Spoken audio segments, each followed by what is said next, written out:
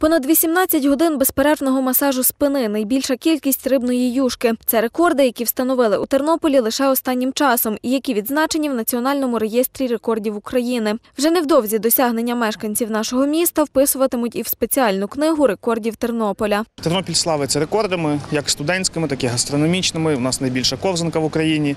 За останні буквально 5-6 років Тернопіль продукує дуже багато рекордів на національному рівні.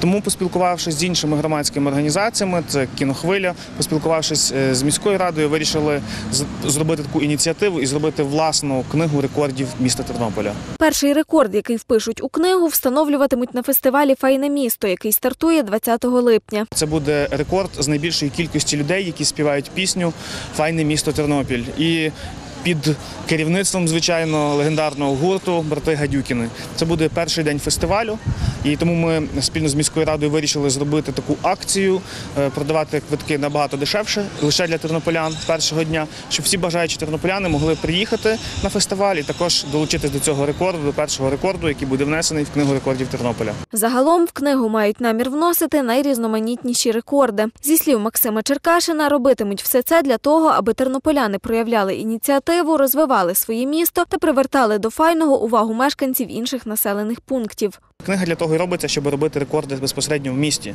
і щоб міщани їх в подальшому переве- перевершували ці рекорди. Умовно там зроблять е, найбільшу там кількість чогось, але через рік цей рекорд зможуть побити. І він може співвідноситись з з українським, він може бути меншим, може бути більшим, але змагатися ми будемо лише на рівні міста.